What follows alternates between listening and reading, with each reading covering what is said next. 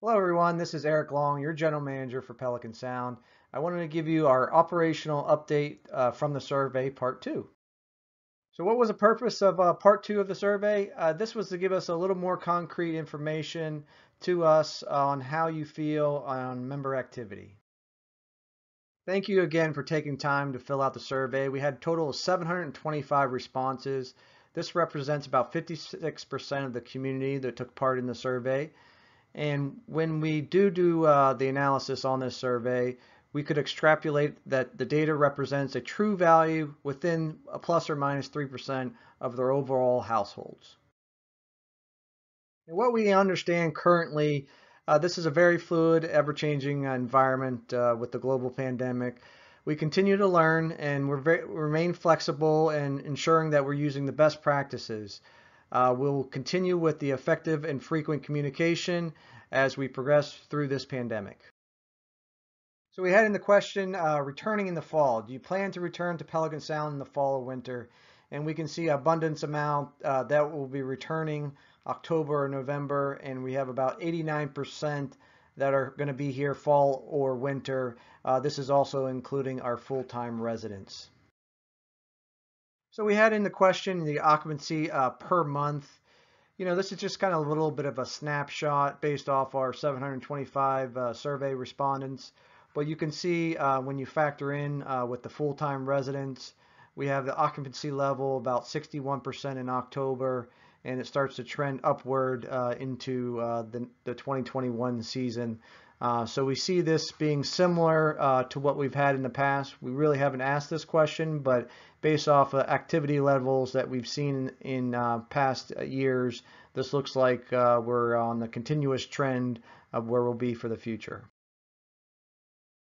So we had a few food and beverage questions, uh, pretty similar to what you responded in the last uh, survey. You are looking for outdoor dining options. You'll still use the curbside pickup. Um, we do see uh, table sizes are similar to what uh, you've had in the past. So uh, this is great information. Uh, we also have a good understanding on uh, dinner service. So you'll see some great menus coming out uh, in the near future. We had good responses on the golf section. A majority of you are comfortable with bringing back golf events. we'll do that in a tee time format with virtual scoring. We did see that uh, golf bag storage is something that people are looking forward to, so we'll be uh, planning on bringing that back uh, next year, and uh, all things are well on the golf uh, side. So on our fitness side, uh, we had some mixed feelings on our fitness. we do know that you're looking for options when it comes to fitness. So we have plenty of options coming up in the near future. So we'll have indoor classes, outdoor classes, We'll make sure that our sizes are appropriate. We'll also offer the virtual classes as well. So many things to offer here uh, in our fitness facilities and then outside our facilities as well. So many different options and stay tuned to see some more flyers on what we'll have to offer. So our racket sports, we asked a, a series of questions and uh, this season, we're going to work on an internal uh, competitive league so we can keep uh, things uh, in-house. So you'll see that coming out. And we're going to shy away from any drop-ins on the uh, pickleball courts, but plenty of different options that we'll have to keep uh, a competitive nature with these sports. We asked on bocce, do you have any comfort level in participating in any bocce leagues or, or community leagues? we do see an interest there, so you will see some uh, uh, activities that will will go on the bocce courts. We'll make sure that uh, it is uh, social distancing practices.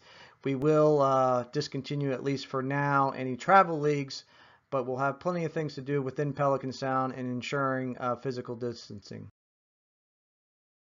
So we asked a series of questions on activity level within the different programs that we offer here at Pelican Sound. We do see that most of you are uh, wanting to participate, uh, so we have that in mind, and uh, we're looking forward to a great season and practicing a health and safe environment. We had a couple questions on the last portion of the survey was on your feedback.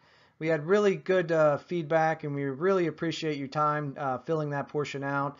Uh, a lot of common themes uh, in the responses. We want uh, outdoor fitness classes. We're looking for some COVID-19 testing availability locally on site.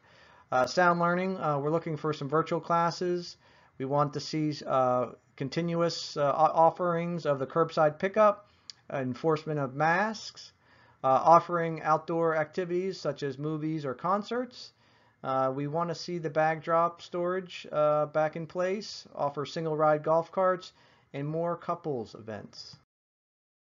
Thank you again for taking the time to fill out this survey. This was very helpful and we got a lot of great information.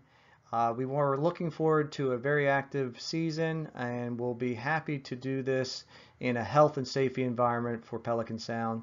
So we're looking forward to seeing you in the near future.